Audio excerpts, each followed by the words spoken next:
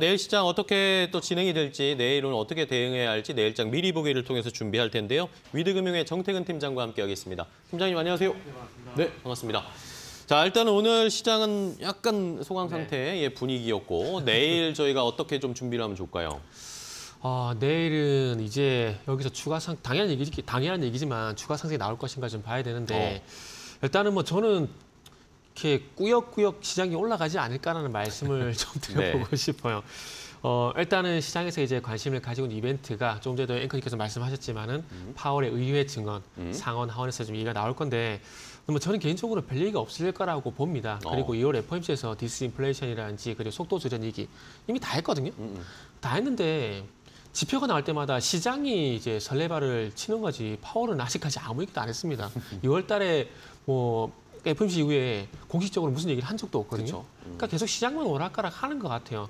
어쨌든 파월은 계속해서 자기 가는 길을 계속 갈 건데 그 속에서 다른 얘기면 어떡하지? 걱정, 근심들이 너무 좀 많은 게 최근 어떤 지수 흐름을 좀 반영하는 것이 아닌가 볼수 네네. 있을 것 같습니다. 그래서 어쨌든 뭐 저는 별 게 없을 거라고 좀 생각을 하고 있고 네. 거기에 대해서 저는 별 게 없을 거라고 생각을 하는데 거기서 또 이제 시장이 과민 반응하지 않을까 그게 조금 걱정이 된다는 말씀을 좀 드리도록 하겠습니다. 만약 그게 없다라면은 아마 2,480포인트 전후까지 또 반등 시도를 하지 않을까 봅니다. 지금 어쨌든 뭐 고점이 2,480에서 2,500포인트 부근에서 계속 작용이 되고 있는 상황이기 네. 때문에 다시 한번 돌파 시도를 하지 않을까라는 말씀 드려보고 싶고 어 그리고 수급적인 부분을 보게 된다면 이제 개인적으로 외국인과 투신이 매수를 하게 되면서 시장을 어쨌든 계속해서 잡아주고 있는 것 같아요. 음. 어, 오늘 특징적인 부분이 외국인 순매수 상위를 보게 되면 배터리하고 IT만 샀습니다. 그러니까요. LG 에너솔루션, 삼성 SDI, SK 이노베이션, LG화학, 삼성전자, 하이닉스. 우- 수급 보면서 웃음밖에 안 나온다 봐야 될 것 같아요. 그러니까 그만큼 최근에 2차 전지가 너무나 핫하다고 봐야 될 것 같고 그러면 2차 전지로 시장을 잡아주게 되고 IT 쪽으로 얼마만큼 외국인들이 매수를 해주느냐. 음. 아마 이게 제가 봤을 때는 시장을 시장의 속도를 가늠할 속도를 어, 결정할 요인이지 않을까 뭐 그렇게 말씀을 좀 드려야 될 것 같아요. 네, 좋습니다. 자, 이렇게 어쨌든 시장에 이 말씀해 주신 것처럼 파월 의장의 이야기는 크게 뭐 주목될 거 없다라는 예상을 해 주셨고 수급이 결국에 외국인 수급이 어떻게 움직이는지 저희가 더 주목을 해 봐야 되겠네요. 그러면 내일 시장에서는 어떤 섹터, 어떤 업종 좀 보세요? 2차 전지 보십니까? 아니면 다른 거 보십니까? 솔직히 이게 이 전문가들이 항상 고민을 할 수밖에 없는 부분들인데 이 다음에 뭐가 갈까에 대한 고민을 네. 그렇죠. 할 수밖에 없습니다. 어, 지금은 2차 전지 말씀하신 것처럼 2차 전지 아니면 다른 게 뭐가 있는 고민을 해야 되는데 네. 그 다음이 저는 개인적으로 헬스케어가 되지 않을까라는 어, 생각이 좀 들어요. 예. 왜냐하면은 어, 이것도 이제 이번에 윤석열 정부가 들어오고 난 다음에 정부에서 어떤 것들을 추진하고 그리고 연- 윤석열 대통령이 어떤 것들을 역점적으로 추, 역점적으로 추진했느냐 음. 같은 부분들을 보게 되면 아시겠지만 답은 빤하잖아요. 제일 먼저 움직였던 게 원전. 음. 제일 먼저 탈원전 얘기하게 되면서 원전이 스타트를 끊었거든요. 네. 그러면서 작년 하반기에 또 핫했던 거 뭐였죠? 방산. 당산. 그리고 올해 들어와서 또 이제 챗GPT, AI. 물론 해외 쪽에서 먼저 그런 이슈가 나오긴 했지만 거기에서 발맞춰서 정부에서 어떤 AI 산업, AI 산업을 육성하겠다. 음. 그런 얘기가 나오게 되면서 1월달, 2월달 상당히 핫했었잖아요. 음. 그리고 최근에 와서 또 이제 알겠지만 어, 유럽판 IRA 그리고 뭐 정부에서 이 폐배터리 업체에 대한 어떤 세액 공제 음. 그리고 이제 최근에 삼성 SDI 그리고 LG 에너솔루션 이런 얘기 LG 에너솔루션 어떤 이슈가 나오게 되면서 2차 전지가 또 강세거든요. 그렇죠. 그러면 정부에서 어떤 정책들을 추진하냐에 따라서 움직인다라면은 지금 계속해서 어쨌든 헬스케어 관련된 그러니까 바이오 제약 쪽으로 호재가 될 만한 얘기들이 계속 나오고 있다라는 겁니다. 그렇다면은 내일 쪽에 2차 전지가 계속 끌고 가거나 아니면 이게 만약 쉬게 된다라면은 바이오 헬스케어가 조금 이제 다시 그 바톤을 이어가지 않을까 생각이 좀 드는데 어쨌든 윤석열 대통령께서 국가 핵심 전략 사업으로 이제 바이오 헬스를 또 강조를 했습니다. 이게 네. 1월 30일 날 청와대 주재 회의에서 그런 얘기를 했었는데 여기에서 어쨌든 바이오 헬스 시장 어, 아, 바이오 헬스 신시장 창출 전략 회의를 가졌었고 여기에 규제 체계 전면 재설계라든지 그리고 디지털 헬스케어법 제정 추진이라든지 그러니까 어쨌든 이 어, 바이오 헬스가 조금 성장할 수 있는 그런 기반을 만들 수 있는 그런 것들에 대해서 역점적으로 회의 내용이 나왔다는 부분들 그리고 복지부와 또 국무총리 산하였던 회의에서 보게 되면은 바이오 헬스 신산업 규제 혁신 방안도 발표를 했었고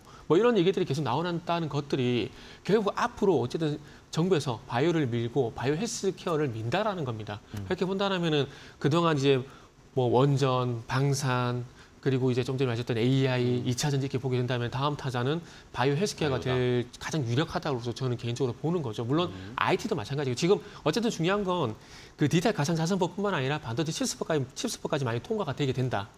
그러면은 이제 IT가 시장을 이끌게 되고 이 2,500포인트 어떤 답답한 흐름이 조금 해소가 될 가능성도 있다라는 거죠. 어쨌든 뭐 얘기가 좀 길어졌는데 어쨌든 답은 나왔습니다. 2차 전지가 계속 끌고 갈 것인가 아니면 그 다음 바톤을 제가 예상한 대로 이 바이오 헬스케어가 이끌어 갈? 것인가? 뭐 그렇게 결정이 될 수밖에 없을 것 같아요. 그래서 저는 개인적으로 이제 아침 방송에서 지니틱스라는 종목도 많이 소개시켜 드렸는데 라이프 시멘틱스라는 이런 종목들도 동반해서 그러니까 어, 헬스케어와 아 맞다 로봇도 있었네요. 그러고 보니까 로봇도 네. 있었네요. 그 헬스케어하고 로봇 같- 로봇을 좀 합쳐가지고 헬스케어 로봇 이쪽도 한번 좀 아. 같이 보시면 좋지 않을까 이런 말씀드리고 싶네요. 알겠습니다.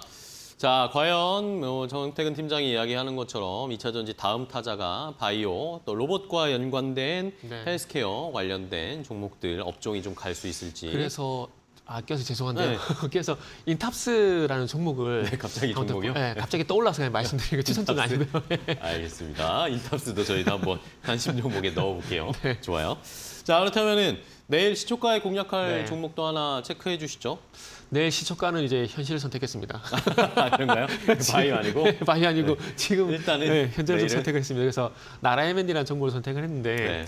어, 일단은 전반적으로 2차 전지가 2차 전지가 분위기가 이제 셋업체, 소재, 장비 쪽으로 이제 또 2차 전지 내에서 또 순환매가 나오는 것 그러니까요. 같습니다. 얘기 네. 나오네요, 또 이제. 어, 이제 삼성 SI 같은 경우 GM의 어떤 이제 배터리 그런 이슈도 있고 음. 그리고 이제 아시겠지만은 또 다음 주에 아 다음 달인가요? 다음 주가 갑자기 헷갈리네. 그 볼보 회장, 음. 볼보 CEO가 방문 방한을 하잖아요. 이렇게 되면 또 2차 전지 이슈가 또 나올 게 있습니다. 그리고 이제 어, 테슬라의 4680 배터리 요것도 음. 지금 이슈가 있는 상황들이고요.